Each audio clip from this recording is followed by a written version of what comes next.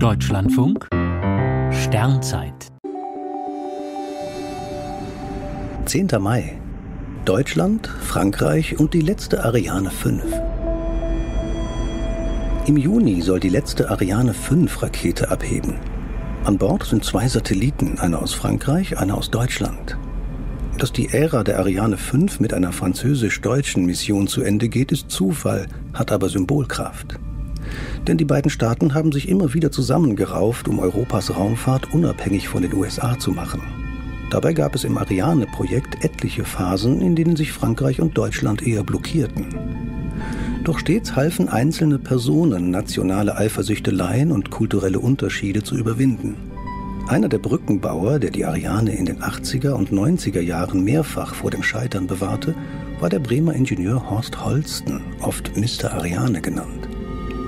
Er ist vor einigen Jahren gestorben und kann leider nicht mehr miterleben, dass bald der deutsche Satellit Heinrich Hertz und der französische Syracuse 4B gemeinsam ins All starten.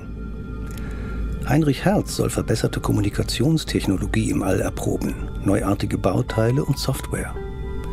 Der Satellit in der geostationären Umlaufbahn dient auch als Relaisstation für Erdbeobachtungssatelliten auf tieferen Bahnen. Syracuse 4B gehört dem französischen Militär. Er sorgt für den Datenaustausch zwischen Flugzeugen, Fahrzeugen am Boden, Schiffen und U-Booten. Heinrich Hertz sollte ursprünglich schon vor mehr als sieben Jahren starten, aber es kam mehrfach zu Verzögerungen. Nun endlich ist es soweit beim letzten Flug der vor allem französisch-deutschen Ariane 5 Rakete.